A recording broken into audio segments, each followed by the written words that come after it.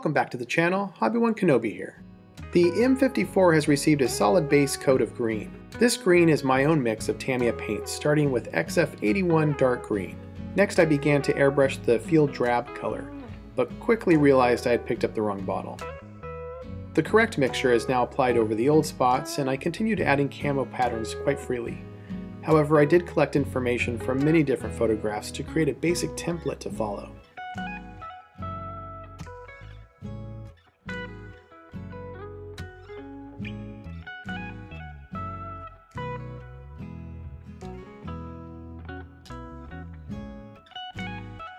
Initially, these larger spots of camo were often sprayed on, while the two less frequent colors, black and tan, would commonly be brushed on. I found many photos, however, that showed all four colors being sprayed. This is the look that I will go for on this vehicle. At this point, I am not worried about shapes, nor am I concerned with getting a sharper edge. All of that will come later. It is a good idea to spray from different angles if working around details. The railing along the side of the truck bed is a place where paint coverage can be lacking. The tarp will be painted after all of the camo and washes has been applied, and maybe even a few steps after that. Handling of this model will continue as wheels and windows are put into place, and I would like to ensure that the tarp is free of fingerprints and other unintentional weathering effects. Now I start to create shapes. Viewing photos of this particular MERDC camo will reveal some simple patterns. I find that the light tan and black colors are often placed along the demarcation of the green and brown, and will cling to the curves and peninsulas of these colors.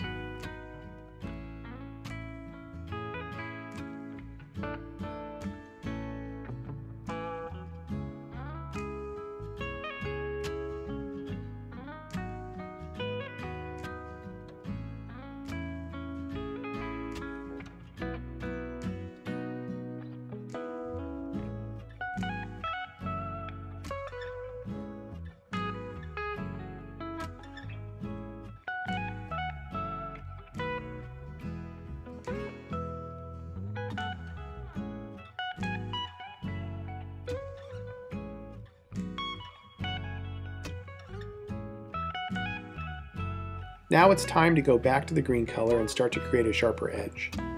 This is done by getting the paint to be thinner and spraying back onto the base color, but from a different angle.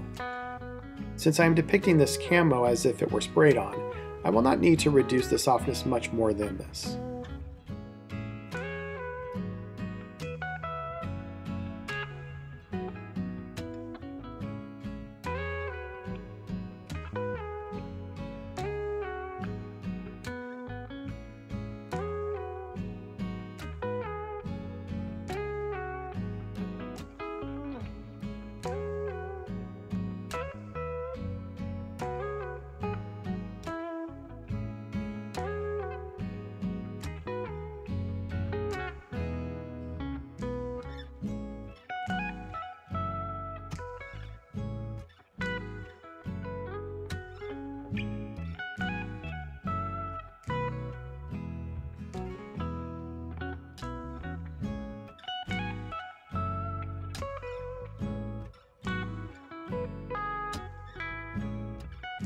Next I sprayed the light tan and black.